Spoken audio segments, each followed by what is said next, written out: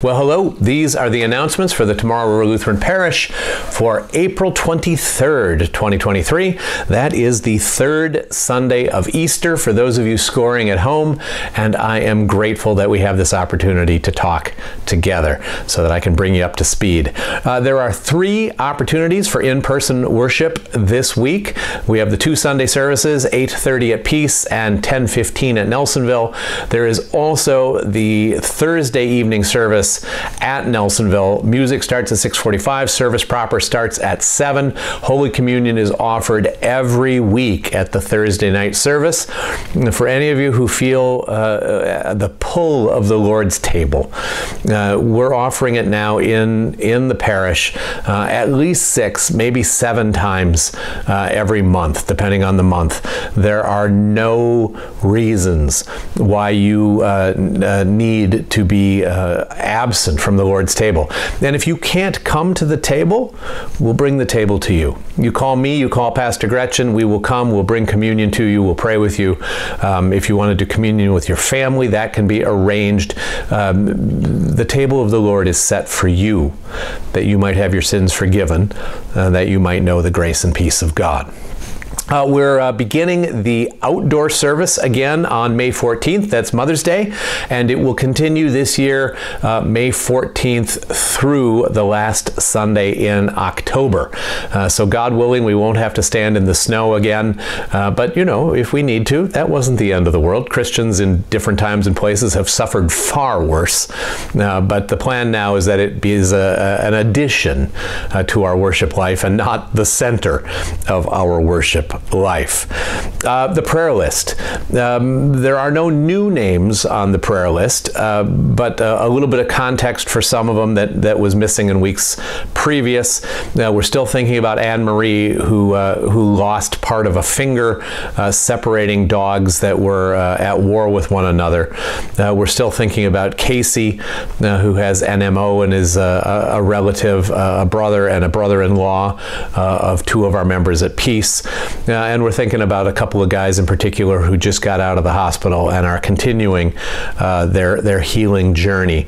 Now, the rest of the names you've seen before, I continue to commend them to you and to remind you that if you are in need of prayer, we're delighted to put you on the prayer list and to pray for you at whatever level of anonymity seems right to you.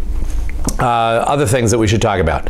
Uh, Peace is having uh, uh is in the middle of major uh, work on the physical plant. We had part of the roof on the education wing cave in, and so we have now replaced that roof with a with a rubber membrane roof, and now the the opening the walls and opening the ceilings and seeing, you know, just how much damage has been done is in process. we've received a couple of very large gifts. It's going to be at least $110,000. Uh, there was more damage to the joists and to the decking of the roof than we had hoped, uh, and we don't know yet what we're going to find when we open the walls. Uh, but as a starting point, $110,000. Uh, we've received a couple of gifts, uh, but but uh, calling I'm calling the community to just make this disappear. Uh, and that, that if you give a gift uh, for the roof uh, at Peace, the gift will be used 100% uh, to defray the cost of the roof, so we don't have to we don't have to put it on the note, uh, put it on the mortgage. That would be bad. And if we get additional gifts beyond what the repairs cost, all of that will go toward paying down the mortgage, paying down the note, uh, so that we can be set free of that and use the resources that are here for ministry instead of again building debt. So, um, a, a, call to all of the people of God who gather at Peace or Nelsonville uh, to think about this as a, as a fit source of an extra mile offering. Now remember, this has to be in addition to your uh, other gifts. Um, the, the work of the church has to continue. It doesn't do us any good at all to have a paid for building uh, and no ministry. Uh, and so uh, we're asking for additional generosity as God has blessed you.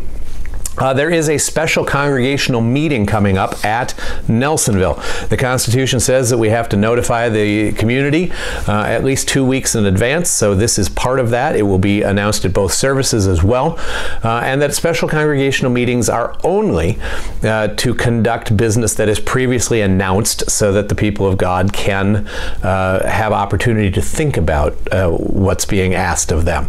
So there'll be a link under this video where you can read the uh, the, the special congregational meeting uh, announcement.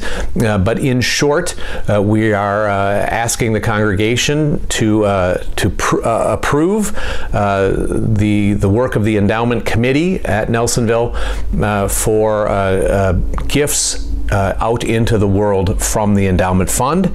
And then we are wanting to have a conversation. Um, the church council asked to have this added to the special congregational meeting.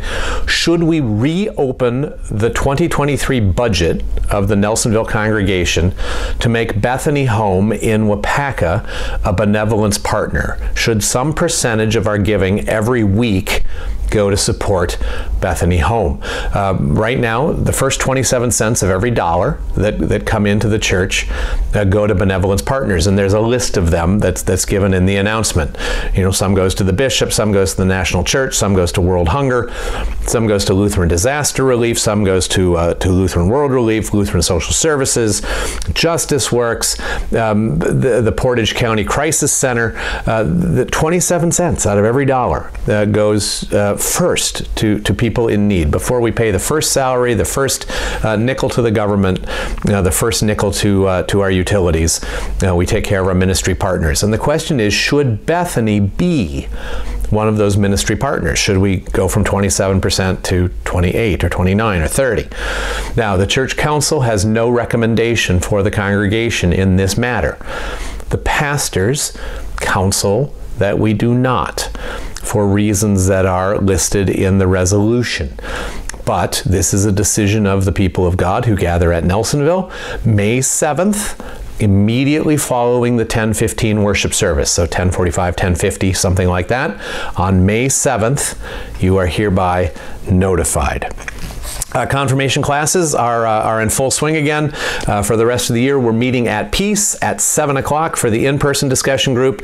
Uh, at uh, The online group meets at 8. Uh, confirmation is a public ministry of the church. You are encouraged I'll plead with you if it would help uh, to come to confirmation. It does the youth a world of good to see the adults of the church, uh, their elders in faith, uh, learning, questioning, growing, struggling, striving. Uh, and so you're welcome to come and to ask any question that seems right to you. Uh, the materials are always available on the confirmation uh, page of the church website. So right up at the top, top left, there's a, a button that says confirmation. You tap on on that, it takes you to the confirmation page. There's the link for the online group and this week's videos and teaching notes. Uh, and so whether you come or not, you can avail yourself of those. Uh, and it, uh, it's a good thing that we continue to learn together. Sunday school is back on. we paused for the Easter break, excuse me. Um, meets at 9 o'clock at Peace, 9.30 at Nelsonville. Kids can flip-flop churches. It's the same lesson at each church.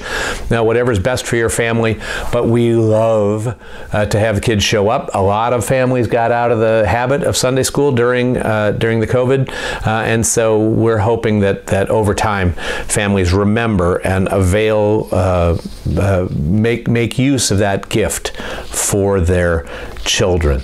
There are a lot of other announcements below, but I think I've taken enough of your precious time. Uh, I hope that you'll read them. I am grateful uh, for your attention, and I'm grateful to be part of this community, this family in the Tomorrow River Parish. You take care. May God bless, protect, and keep you in faith. Bye bye.